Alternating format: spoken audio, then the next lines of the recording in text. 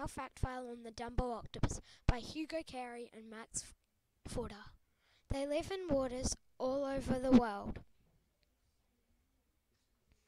From depths from 400 meters to 4.8 kilometers down.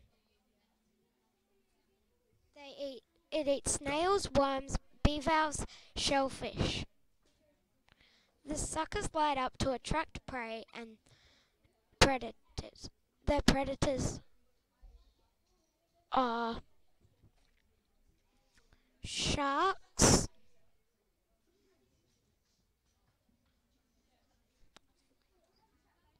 Whales,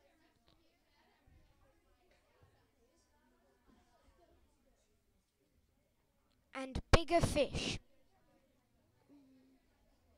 It, mo- it moves through the water with its webbed feet. It can bury up to 3 meters, release toxins, and can grow up to 3 times the size.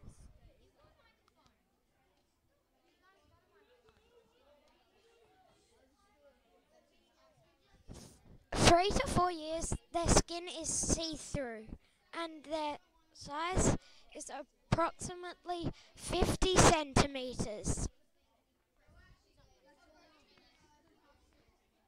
They have birth all year round, non stop. Up to 54 young in one go. The end.